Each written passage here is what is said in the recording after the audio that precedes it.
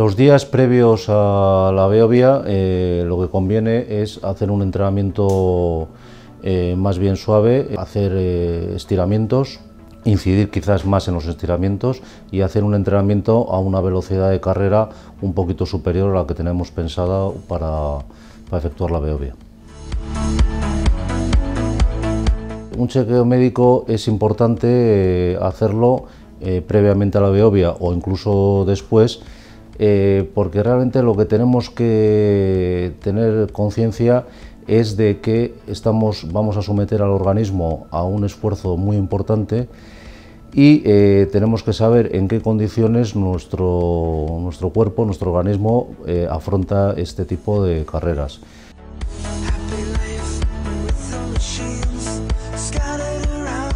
Un chequeo médico consiste en una serie de pruebas en la que evaluamos los diferentes aspectos eh, que actúan sobre la, carrera del deportista. En primer lugar, hacemos un estudio de la composición corporal, en el que evaluamos la, masa corporal, el porcentaje de grasa, el índice de musculación. Hacemos un estudio de la musculatura implicada en la carrera, vemos la flexibilidad, eh, el tono muscular. Después lo que hacemos es una prueba de esfuerzo, en este caso para los de la Beovia en cinta de esfuerzo, en el que estudiamos eh, qué potencia máxima alcanza, eh, qué consumo máximo de oxígeno alcanza y todo esto lo hacemos con un control electrocardiográfico y tensional durante todo el desarrollo de la prueba. Eh, es importante saber el límite de resistencia física del, corredor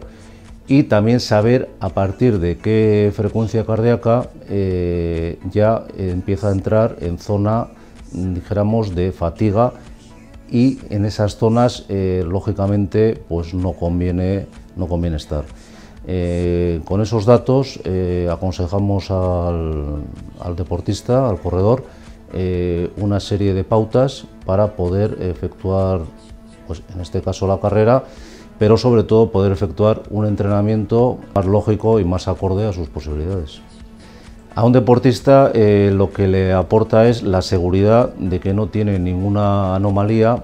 eh, estructural, tanto a nivel de aparato locomotor y sobre todo a nivel cardiovascular o metabólico, para poder hacer este, este deporte, este ejercicio, en unas condiciones eh, óptimas. Los que participan en este tipo de carreras pues, provienen de otros deportes, muchos no han hecho carrera de larga duración en los deportes que habían hecho antes, porque igual habían hecho fútbol, habían hecho eh, otros deportes, y someterse a un esfuerzo físico que en muchos casos es entre hora y media y dos horas y media, pues precisa eh, un estudio eh, detallado de sus condiciones físicas.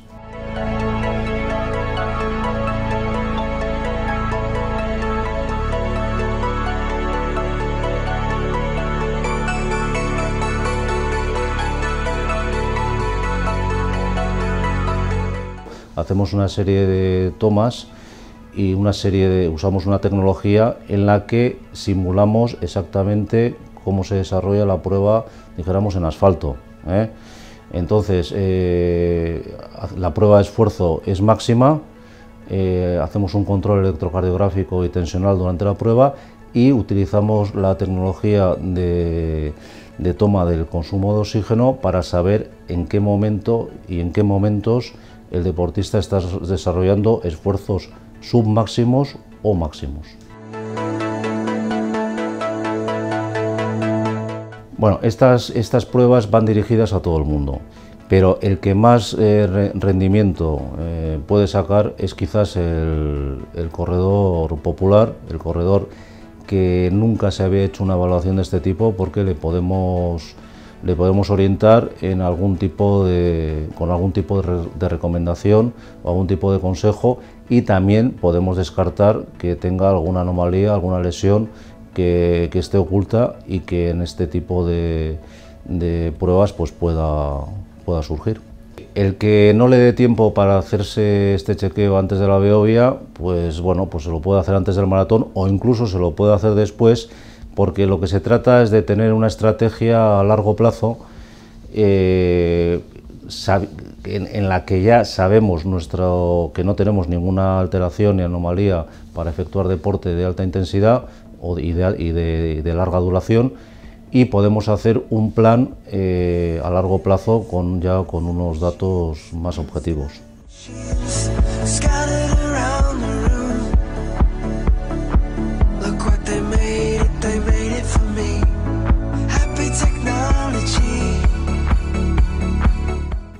La hidratación es uno de los pilares básicos eh, que tenemos que aconsejar al deportista y que él tiene que dejarse guiar por las indicaciones de los organizadores eh, tiene que hidratarse eh, en casa previamente. Si hace mucho calor, tiene que ir bebiendo regularmente cada 20 minutos, media hora.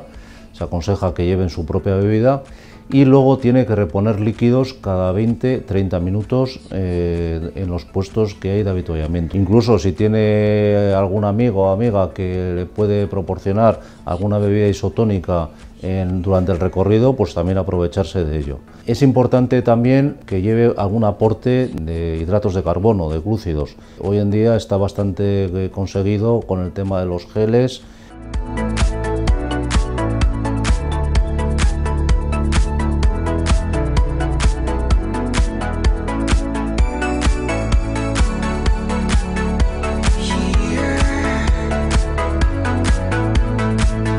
La temperatura es uno, de los datos importantes de, este día, del día de la Beovia.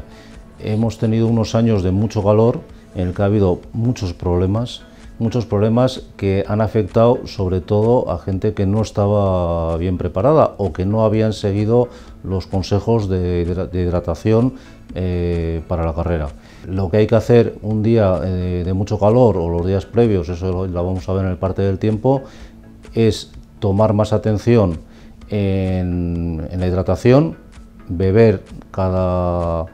cierto tiempo. En algunos será 20 minutos, en otros será 30, en otros será 40. Es muy difícil calcularlo porque, claro, son miles de personas y a veces no se puede llegar a los puestos de habituallamiento en condiciones. Pero eh, hay que llevar líquido antes de la salida, que es igual una hora o dos horas antes, y beber durante la carrera y al finalizar la carrera también.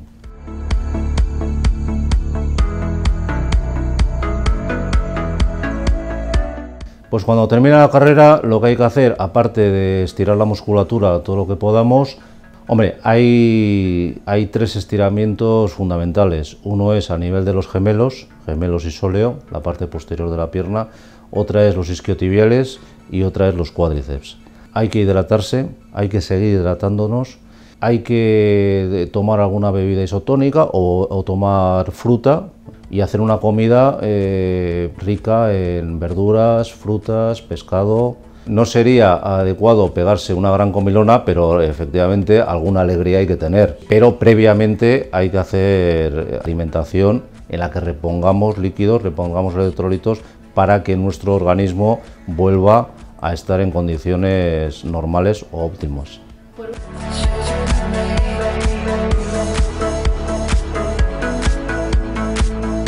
Quizás lo que habría que recomendar eh, a los que van a correr la Beovia, que es dentro de tres días, es que vayan a un ritmo eh, que puedan soportarlo,